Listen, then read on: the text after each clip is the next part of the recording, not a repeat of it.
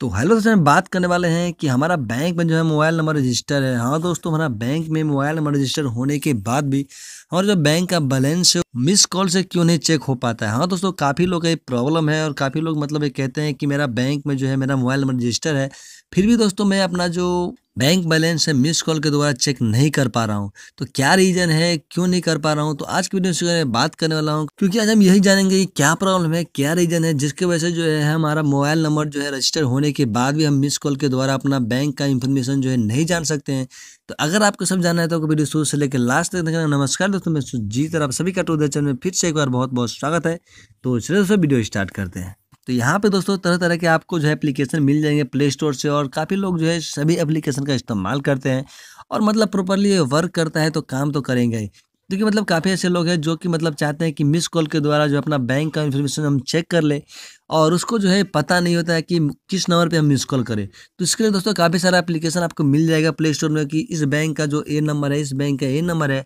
तो इस तरह मेरे पास भी एक एप्लीकेशन है जिसके यहाँ पे आप देख सकते थे ऑल बैंक बैलेंस तो जिससे हम भी मतलब आज मैं आपको एग्ज़ाम्पल करके दिखाऊँगा कि किस तरह जो होता है और किस तरह नहीं होता है। तो जिस तरह मैं इस एप्लीकेशन को ओपन करता हूँ तो ओपन करने के बाद जो है कुछ इस तरह का इंटरफेस आएगा।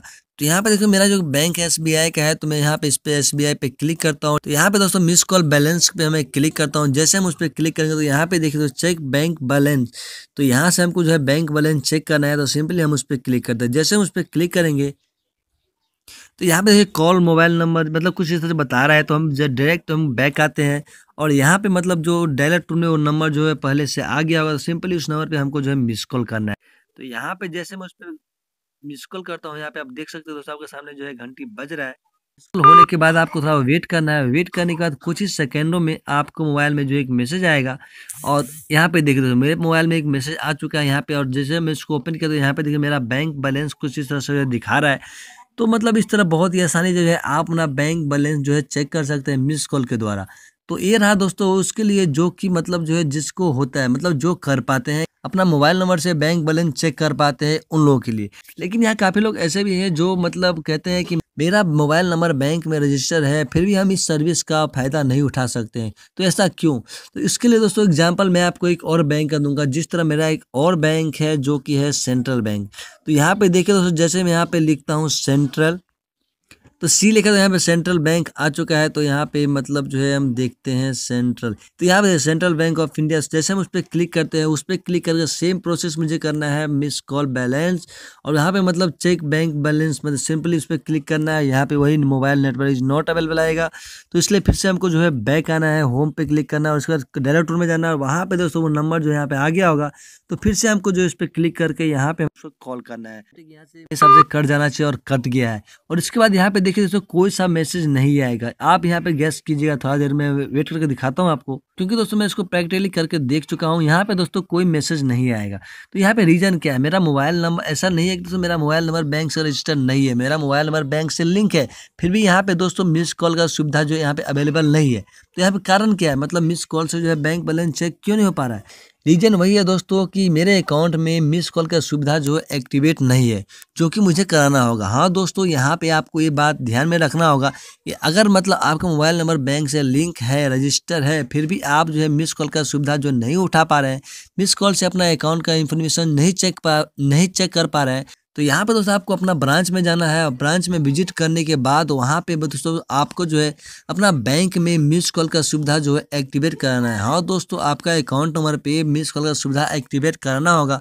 उसके बाद दोस्तों आप जो है मिस कॉल सुविधा का जो लाभ उठा सकते हैं। क्योंकि दोस्तों, मैं जो मेरा SBI का अकाउंट है, उसमें मैं करा रखा हूँ और जो मेरा सेंट्रल का है, उसमें मैं नहीं करा रखा हूँ। तो इसलिए मेरा SBI में जो है हो जा रहा है और सेंट्रल में नहीं हो रहा है। तो यहाँ पे दोस्तों सिंपल फंड है। हाँ दोस्तों, कोई ज़्यादा प्रॉब्लम नहीं है। सिंपल रीज़न वही है कि आपका जो अकाउंट नंबर है, उस पर दोस्तों म्यूचुअल का सर्विस जो है एक्टिवेट नहीं है, जो कि आपको एक्टिवेट करना होगा। तो उसके लिए आपको जो है ब्रांच जाना होगा। और यहीं पे दोस्तों, एक खुशखबरी SBI वाले के लिए। हाँ दोस्तों, अगर आप SBI का अकाउंट है आपके पास और आप जो है आपका मोबाइल नंबर रजिस्टर है, फिर भी आप जो इस सुविधा का लाभ नहीं उठा पा रहे हैं तो आप दोस्तों ऑनलाइन जो है इस सर्विस को एक्टिवेट कर सकते हैं अपना अकाउंट पे। तो उसके लिए दोस्तों आपको डिस्कशन चेक करना है। वहाँ पे मैं एक वीडियो बना रखा हूँ कि मतलब बहुत ही आसानी से कुछ स्टेप का आपको फॉलो करना है और उसकी मदद से दोस्तों आप अपना अकाउंट में दोस्तों मिस कॉल का सर्विस जो है एक्टिवेट कर पाएँगे। लेकिन दोस्तों वहीं पे अदर बैंक वाले जिसका मतलब कोई और बैंक है, उसके लिए दोस्तों आपको जो है ब्रांच में ही विज़िट करना हो और वहाँ पर जाके दोस्तों आपको एक फॉर्म फिल करना और उसके बाद दोस्तों आप भी बहुत ही आसानी से इस मिस कॉल का सुविधा जो है अपने अकाउंट पे मतलब पा सकते हैं। और मिस कॉल से जो अपना बैंक का इन्फॉर्मेशन जो है चेक कर सकते हैं। तो यही कुछ रीजन है, बड़ा कोई रीजन नहीं है। तो मतलब काफ़ी लोग कहते हैं कि मेरा मोबाइल नंबर रजिस्टर है तो दोस्तों रजिस्टर है, वो बात अलग है।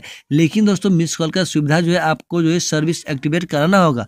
ये ऑटोमेटिक एक्टिवेट नहीं होता है तो आपको ये बात ध्यान में रखना होगा। थैंक यू दोस्तों, आज के लिए बस इतना ही। आई होप दोस्तों आप सीख गए होंगे और समझ गए होंगे कि किस तरह दोस्तों अपना बैंक में जो है मिस कॉल का सर्विस जो है एक्टिवेट करा सकते हैं और क्यों मतलब जो है मोबाइल नंबर रजिस्टर होने के बाद भी मतलब जो है क्यों नहीं हो रहा है?